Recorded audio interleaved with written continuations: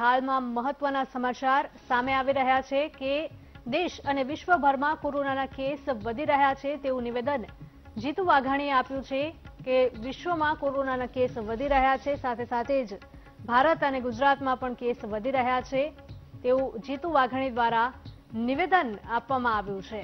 એટલે કે લોકોના હિતમાં વાયબ્રન્ટ સમિટ રદ કરવામાં આવી છે. એટલે કે સરકાર દ્વારા જે મહત્વના નિર્ણય લેવામાં આવ્યા કયા કયા ક્ષેત્રમાં વિકાસ થયો છે, એનો માત્ર હું.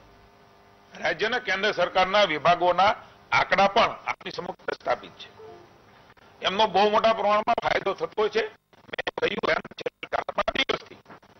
અને સંક્રમણ વધ્યું છે ત્યારે રાજ્યની જનતાના હિત નિર્ણય લેવો એ જરૂરી હતો એ લીધો છે. પણ જ્યારે શરૂઆત કરી, ત્યારે આ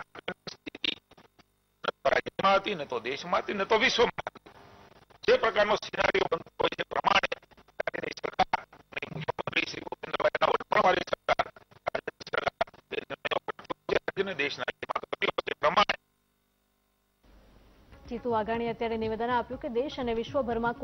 સંક્રમણ છે તે વધી રહ્યું છે. ગુજરાતમાં પણ સંક્રમણ વધી રહ્યું છે અને લોકોના હિતમાં નિર્ણય લેવામાં આવ્યો કે સરકાર દ્વારા જે ત્રણ મોટા કાર્યક્રમ યોજાવાના હતા તેને રદ કરવામાં આવ્યા છે.